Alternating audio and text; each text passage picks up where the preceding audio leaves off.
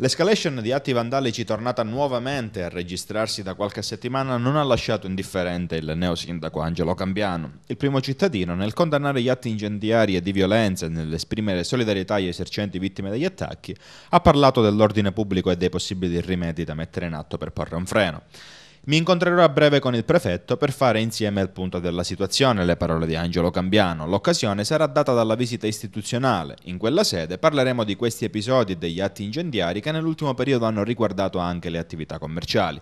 Cambiano ci ha però anticipato che alcune contromisure, prima di un eventuale coordinamento tra i vari enti, verranno prese anche a livello locale per tentare di fare da deterrente ai propositi criminali di cui abbiamo raccontato in queste ultime settimane.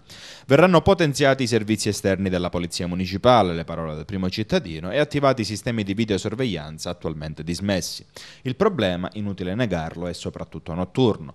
Come abbiamo avuto modo di rilevare sul finire della scorsa settimana, neanche le attività del centro, dove dovrebbe essere più facile essere notati, sono risparmiati dai raid incendiari.